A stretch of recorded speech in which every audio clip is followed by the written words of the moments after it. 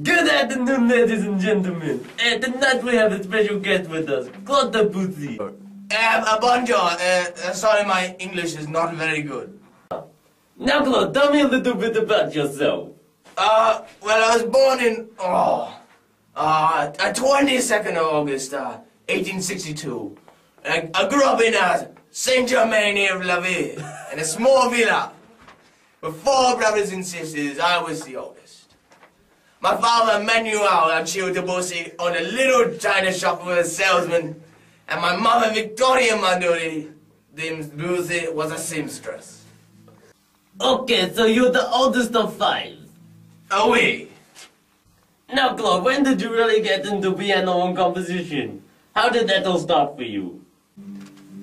Uh, I started piano when I was about uh, seven years of age. Uh, but it wasn't until 1872 when I was 10, when I was entered in the Paris Conservatoire, where I spent 11 years. Oh, what is this Paris Conservatoire? It is our music and dance college in Paris. Ah, superbio! 11 years, that is quite a long time. Oh, it does seem quite a long time, but I enjoyed every bit of it. Oh, now tell me, Claude, who was your inspiration when growing up? Oh, well, my biggest inspirations would have to be the Russian composers, like Tchaikovsky.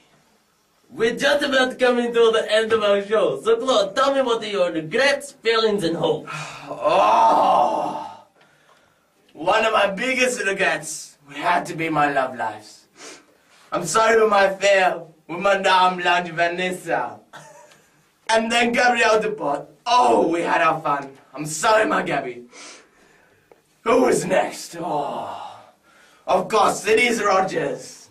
We were engaged, but it just never worked out. So then my love Rosalie Texier came into the picture. Oh, how I loved her. But up until today, I'm with my beautiful wife, Emma. So you played the field a bit, eh? Oh! So what about your hopes? I hope that my daughter, Jojo, will be healthy and live a fantastic life. This is beautiful! Now, ladies and gentlemen, Claude is going to end the show with a piece for us.